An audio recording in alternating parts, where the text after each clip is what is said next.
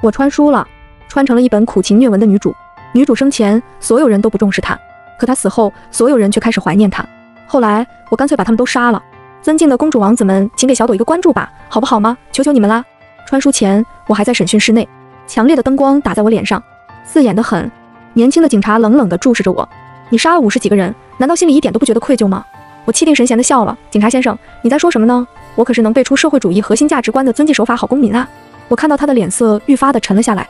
你在三天前杀了一个强奸犯，并在他生前割去他的下体，强迫受害人吃下。听到警察的话，我愉悦地轻笑了起来。可我还没笑几秒，突然脑海里响起了一个陌生的机械音。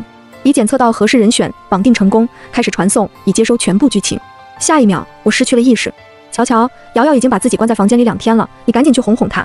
爸知道你错过了高考难过，可瑶瑶也不是故意的，她也是好心想给你做一碗面。你得了急性肠胃炎，只是碰巧而已。你作为姐姐，多包容一下妹妹。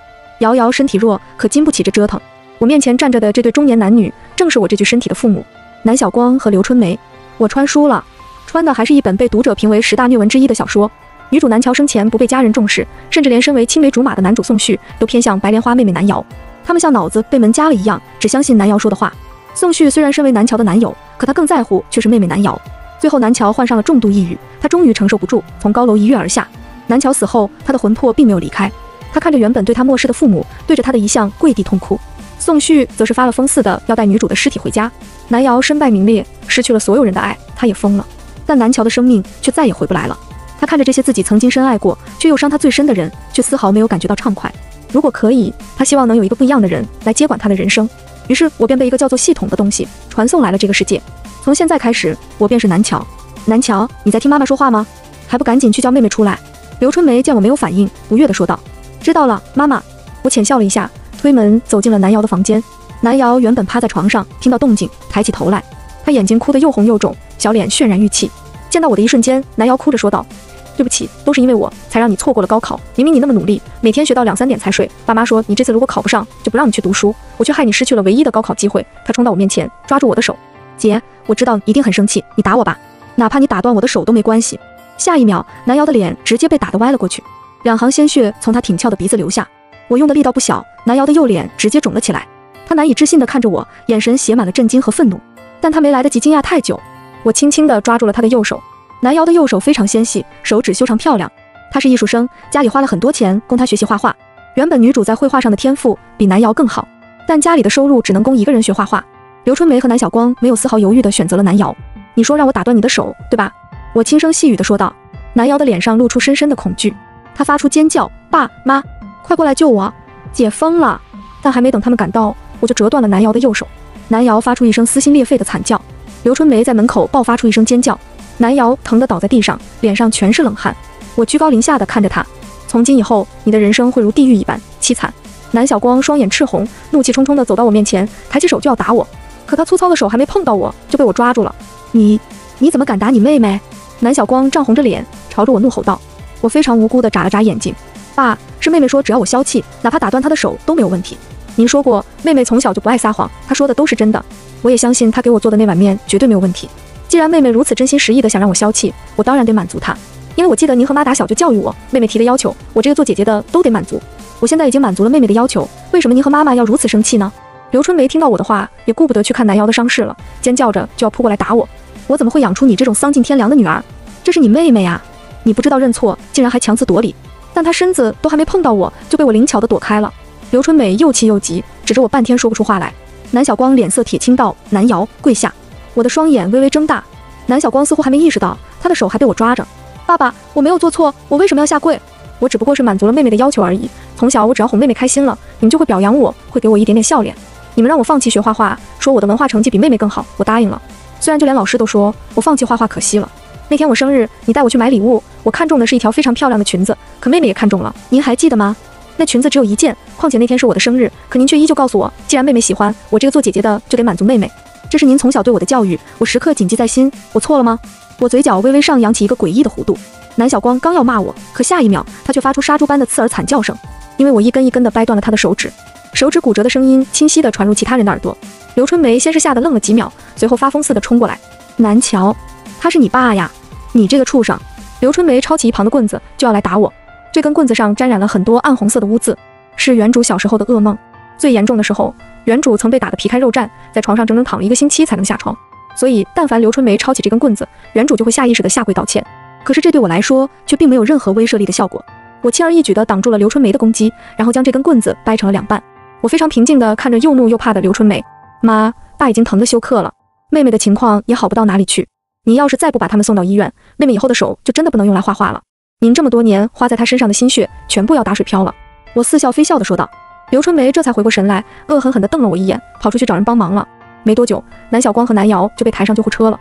南瑶躺在担架上，泪眼婆娑地看了我一眼，隐忍着痛苦说道：“姐姐，这下你消气了吗？”不得不说，女二是有几分实力在的，就算是痛到了极点，她也不忘记装模作样的来这么一出。周边的邻居对着我指指点点，议论纷纷。但他们被我冷眼一扫，就不敢说话了。刘春梅瘫在地上哭着，我这是造了什么孽啊？养出一个这样的女儿。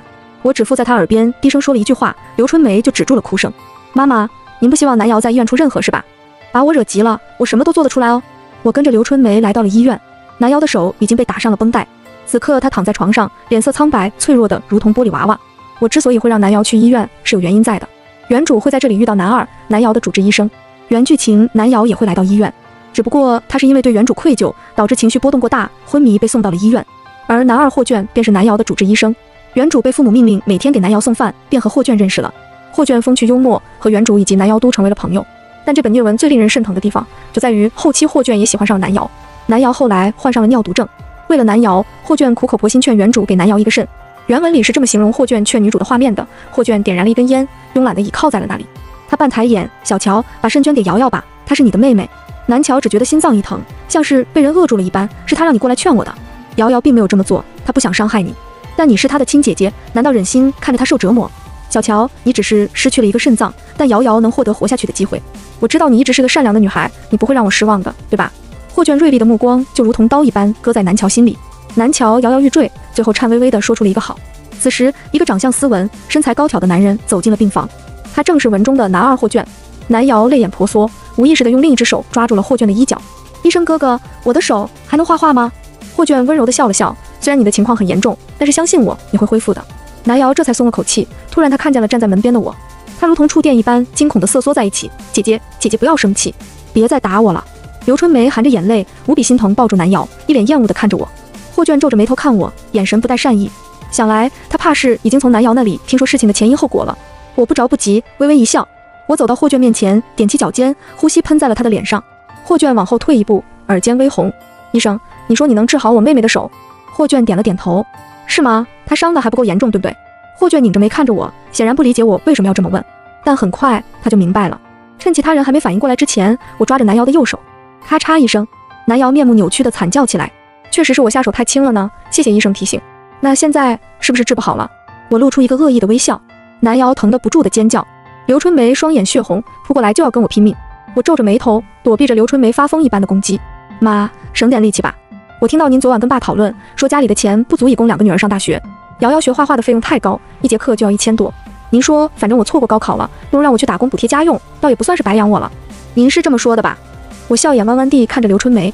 刘春梅喘着粗气停了下来，她有些心虚地移开视线，但硬着头皮说道：“那又怎么样？我把你养到成年，已经仁至义尽了。”我温柔地注视着刘春梅，体贴地说道：“妈，您看我多为您着想。现在妹妹的手彻底不能画画了，家里的负担便减轻了。您再也不用还不到五十就操心的白了很多头发了。”刘春梅瞪大双眼，颤抖着指着我，哆嗦了半天。霍卷的脸色很难看。就算你再怎么讨厌你的妹妹，你也不能。南瑶，你别担心，我一定可以治好你。但他话还没说完，就被我折断了双手。霍卷斯文的面孔因为痛苦彻底扭曲变形。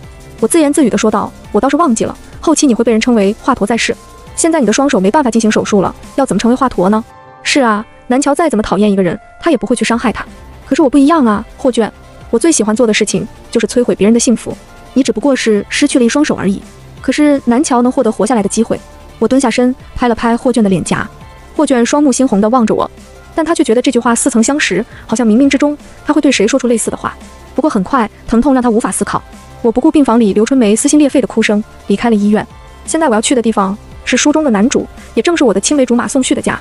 宋旭身为小说里的男主，具备典型的三大男主特征：长得帅，家庭好，脑子装的是空气。文中当时描述女主错过高考来找宋旭安慰的时候，是这么形容的：南乔觉得没有人理解自己，明明错过高考的是自己，但妈妈竟然还要让他去安慰南瑶。爸爸责怪他不懂事，让南瑶情绪失控进了医院。没有人记得他三年的心血一下子白费了。他深知父母不会让他有复读的机会，家里大部分的钱都供了南瑶画画。爸爸说妹妹画画很有天赋，以后能挣很多钱，所以他要懂点事，把机会让给妹妹。南乔恍惚之中却在想，明明当初绘画老师夸有天赋的人是他呀。窗外下着很大的暴雨，他没带伞，浑浑噩噩地走在路上。现在他只想找到宋旭，只有宋旭会站在他这一边。他终于来到了宋旭家里，宋旭心疼地替他擦拭湿漉漉的头发。南乔缓缓红了眼睛，他刚要说话，下一刻宋旭却说道：“小乔，瑶瑶也不是故意的，别跟他计较了，赶紧去医院看看他，我和你一起去。”温暖的暖气房里，南乔却觉得遍体生寒。他盯着青梅竹马熟悉的面孔，却又觉得无比的陌生。眼前的这个人，真的是他认识的宋旭吗？天空果然下起了暴雨。豆大的雨滴打在我身上，我站在了宋旭的家门口，按了一下门铃。很快，宋旭开门出来了。小乔，英俊的少年连忙拉我进来，用毛巾轻柔地擦拭着我的头发。你怎么淋雨过来？感冒了怎么办？宋旭的眼里明晃晃是对我的担心和关切。我盯着他的脸，嘴角缓缓咧开。小说里，原主高考失利之后，在父母的逼迫下，到了另外一个城市打工，但宋旭却考上了理想的大学。一年后，南瑶考上宋旭的学校，成为了他的学妹。两人在朝夕相处之间，更是生出了不一样的感情。宋旭虽然觉得对原主有愧，但却控制不住的去和南瑶在一块，于是出现了一些虐文里经典的桥段。原主生病发烧，宋旭却去南瑶的生日派对。原主好不容易靠着努力考上心目中的大学，想要找男友庆祝一番的时候，自己的男友却在为南瑶庆祝第一次举办画展。直到最后，原主从高楼一跃而下，宋旭的脑子才仿佛突然被开光了。他是最后一个知道原主去世消息的。原主去世的时候，他正在陪南瑶一起在国外举办画展。原主去世的前一周，曾经祈求过宋旭能不能留下陪他一会儿。但南瑶一个电话就让宋旭匆匆离开。原主死后，他终于意识到自己最爱的是南乔，他开始发疯，做天做地不让南乔的尸体下葬。为什么这么看着我？宋旭似乎被我的眼神盯得有些发毛，他下意识地往后退了一步。我笑着摇头。宋旭这张脸倒是长得挺漂亮的，可以将他的脸皮撕下来收藏。阿旭，我妹妹在医院。我缓缓说道。这时候的宋旭还不知道南瑶住院了，他身体猛地绷紧。瑶瑶怎么了？他似乎因为内疚让我错过高考的事，情绪过于激动了。宋旭看着我的眼神里带上了一丝责备。小乔，瑶瑶的身体一直很差，为什么你要跟她斤斤计较呢？她是你的亲妹妹，她是绝对不会害你的。这就是一个意外，你错过高考了，明年还可以再来。可是瑶瑶的身体却没有再来的机会。我知道你很委屈，你放心，就算你以后考不上好的大学，我养你就好。瞧瞧，这说的是人话吗？我一脸惊奇地看着宋旭，有点难以理解作者创造这个角色时的精神状态。我跟着宋旭来到了他的房间，宋旭的桌子上放着一张还来不及收起来的照片，他和南瑶的合照。照片里少年少女互相对视，笑得极为灿烂。宋旭手忙脚乱地收起照片，想要跟我解释。我摆了摆手，我懂的，你不用跟我解释，你把她当做妹妹，对不对？宋旭松了口气，随后打开衣柜，想要给我拿一件衣服。可是刚打开衣柜，我就在里头看见了一件熟悉的连衣裙。那件连衣裙是那天原主生日时特别想要的裙子，但南瑶也看上了这件裙子。她对着南小光一顿撒娇，这个裙子就落在了南瑶的手里。南瑶为了刺激原主，经常穿着这件裙子在原主面前晃悠。我扭头似笑非笑地盯着宋旭。宋旭此刻无比紧张，结结巴巴地解释道：“小乔，不是你想的那样，这个裙子是瑶瑶上次来我家不小心弄湿了衣服。”宋旭毕竟现在还年幼，撒谎十分拙劣，他脸色涨得通红，支支吾吾的都不知道该说些什么。我非常大度地拍了拍他的肩膀：“阿旭，你不用解释，我相信你。”宋旭紧绷的身体明显放松下来。小乔，我就知道你不会随便怀疑我的，我心里喜欢的人只有你。宋旭牵起我的手：“走，跟我一起去医院看瑶瑶，你是她姐姐，只要你说了原谅她，她一定会好起来的。”我换上新的衣服后，宋旭迫不及待地说道：“看得出他是真的非常担心南瑶。”我轻叹了一口气：“阿旭，原来在你心里，我还是比不过南瑶。”宋旭扭过头：“你在说什么？你对我来说是最重要的，重要到什么程度？你可以为我去死吗？”宋旭迟疑一下，点了点头。他以为我的意思是他爱我胜过于他自己，可是他不知道，其实我说的是字面意思。我朝他露出一个甜甜的笑：“我就知道，阿旭你爱我。”去医院看妹妹之前，我打算给她做一个营养汤。宋旭疑惑的看着我，可是我家里没有材料啊。我笑眯眯道：“阿旭，现成的材料就在我面前啊。”宋旭终于意识到了有些不对劲，但他并没有多想，只以为我是在开玩笑。别闹了，小乔。宋旭有些不耐烦了。我起身走向了厨房。阿旭，你家里有没有那种生锈了的，或者是钝一点的菜刀？这样骨头一下子砍不断，得慢慢去砍，猎物就会很痛苦。我一直都是这么做的。我满意的发现了一把放在角落里的生锈菜刀。你看，这个就很不错。我提着菜刀走向了宋旭，他站在那里，似乎不明白我要做什么。我歪了歪脑袋，笑盈盈道：“怎么还不跑？”宋旭皱眉，刚要说话，扑哧一声，我的刀捅进了他的左腹，锐物进入皮肉发出的美妙声音，让我发出享受的喟叹。我眯起双眼，像只厌足的小猫。阿旭，宋旭瞪大双眼，难以置信地瞪着我，鲜血很快从他腹部涌出，滴落在地。我将刀从他腹部抽出，你看，这就是钝刀的好处，你会感觉很痛，却一下子死不了。我呀，最喜欢看人在死前挣扎的样子。我舔了舔嘴唇，你你要杀我？为什么？南桥，为什么？宋旭震惊的大喊道：“你恨我，恨我偏袒南瑶，你竟然恨我到了这种地步！”宋旭惊恐的往后退着，我却摇了摇头。阿旭，你知道吗？曾经有个记者采访连环杀人犯，他问他为什么要杀那么多人，对这些人有什么恨意？可是他说，杀人就像每天吃完饭的一个散步一样，对他来说就是非常日常的事情。对我来说也是这样的。你的肉很健壮，我相信南瑶一定会吃得非常满意。宋旭想逃，他大喊着救命，往大门跑去。下一秒，我砍断了宋旭的脚筋。宋旭发出一声惨叫，他趴在地上挣扎着要爬到门口。救命！我不紧不慢地跟在他身后。阿旭，你真是口是心非呢。你嘴上说我是最重要的，可每次我遭受到不公平待遇的时候，你都告诉我我要忍耐。你说她是我的妹妹，他们是我的父母，大家都是爱我的。那天我和南瑶同时摔倒，她压在了我身上，你却毫不犹豫地先问南瑶怎么样，她有没有受伤。可你不知道，她是故意的。她的后背碰到了一块碎玻璃，现在还留下了疤痕。阿旭，既然你这么喜欢教人忍耐，不如你现在也忍耐一下吧。我举起刀，在宋旭惊恐万分的眼神中挥了下来。三个小时后，我哼着歌擦拭掉地上的血迹。我将香味四溢的汤装在了保温盒里，随后我打车来到了医院。一进病房，我就声泪俱下的哭诉我错了。此时南家三口人见我的反应是又怒又怕。瑶瑶姐姐真的知道错了，我不该这么对你。我擦着眼泪说道：“这是姐姐熬的汤，你快点喝吧。”南瑶似乎怕我也在汤里加料，哆嗦着摇头。你放心，这汤里没东西。我先喝了一口，我真的知道错了。我哭着说了好久，南瑶才将信将疑的把汤端了过去。南小光冷哼一声，抬起手就扇了我一巴掌。刘春梅也踹了我几脚。见我鼻青脸肿也不反抗的模样，他们才终于相信我是知道错了，跪下给瑶瑶认错。我乖乖的跪了下来。见我这副狼狈的模样，南瑶心情很好。爸，我不怪姐姐，姐姐只是太生气才做出这种极端的事情。我怕姐姐伤心，其实早就给姐姐准备了礼物。我当然知道南瑶口中所说的礼物是什么。就在今天，他会指示四个混混凌辱他的亲姐姐，并拍下了照片。这些照片不仅传遍了整个网络，还传到了宋旭手里。南小光和刘春梅不仅没有替原主报警，甚至还觉得是原主给他们丢了脸面。当原主心灰意冷地去找宋旭的时候，原文是这么描述的：南乔只觉得身体脏了，他永远不会忘记那几个混混对他做的那一切。他被人发现的时候，身上没有一处是完好的。他们用烟头烫他，用小刀割他的肉，他们用世界上最脏最恶毒的话羞辱他。南乔觉得自己不仅身体脏了，甚至仿佛连灵魂都被扒得一干二净。而他狼狈不堪地回家的时候，却被父母指着脸：“你去哪里鬼混了？好人家的女孩会这么晚回来吗？我们养你不是让你丢人现眼的。”南乔只觉得很累。之后，那些照片被传得到处都是，所有人都在对他指指点点。他无助地寻求父母的帮助，却换来母亲狠狠的一巴掌。南瑶趴在他耳边轻声问道：“姐姐，喜欢我送给你的这个礼物吗？”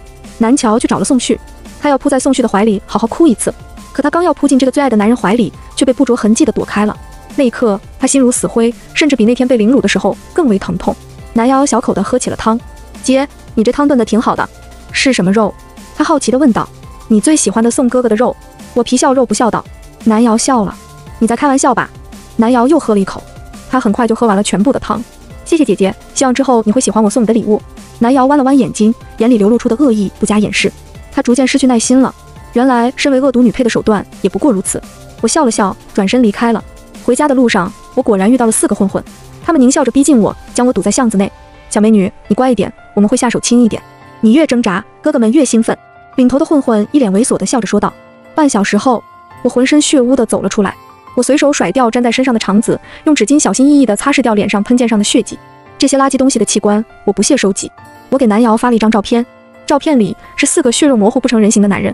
我相信南瑶很快就会相信我说的话了。果然，不出半分钟，我就接到了南瑶的电话。那个汤，南瑶的声音颤抖里带着深深的恐惧。嗯，我什么时候骗过你了？电话那头传来南瑶不住的干呕声。他足足干呕了一分多钟，才开口道：“你杀宋哥哥，为什么要明知故问呢？”你不是说那肉汤很好喝吗？我我要报警。瑶瑶，如果我是你，我就不会傻到报警。那些混混的手机里有你让他们去凌辱我的证据。你现在只是失去了画画的能力，但你不想你的人生毁掉吧？你这个疯子！宋哥哥那么喜欢你。南瑶在电话那头尖叫。我挂断了电话，因为我还有一件事情要去做。一想到这件事情，我就兴奋得浑身发抖。半个月后，南小光和刘春梅带着南瑶回到了家，而我早就已经在家里等候他们多时。南瑶一见到我就跟见了鬼似的，想要往外跑。刘春梅倒是没察觉到什么，张嘴就要骂我。南瑶抓起门把手就要往外扭，可她怎么转却都开不了门。瑶瑶，别费劲了，这门已经被我改造过了。我微微一笑道。南瑶一脸惊恐地转过头，你想干什么？南小光也瞪着我，一副要把我吃掉的表情。我不急不缓开口道：“其实我一直有个疑惑，瑶瑶，我感觉你虽然是个恶毒反派，但似乎不太聪明的样子。可南桥身边的人却总是会被你轻易的迷惑，所以我好奇你们的脑子跟其他人不一样。我想要打开看看你们的脑子里装的到底是什么，和普通人到底有什么不一样的地方。”我十分认真的说道。南瑶都快被我的话吓疯了，他瘫坐在地上，脸色煞白。我打开柜子，里面是一排排电钻。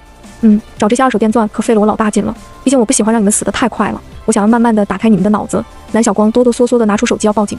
我眉头微皱，在这个世界遇上警察也是一件非常麻烦的事情。爸爸，你想做什么？想要报警？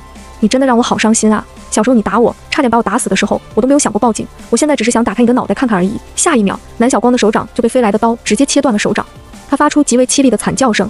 刘春梅和南瑶已经被吓傻了，一股腥臭的液体从南瑶身下涌出。她哆哆嗦嗦地哭着说道：“姐，我错了，你放过我吧，我不该这么对你。”我走到南小光身边，往他的伤口处倒了一点酒精。南小光疼得抽搐了两下，就昏了过去。哦，瑶瑶说来听听，你错在哪里了？我倒是第一次听见你真心实意的道歉。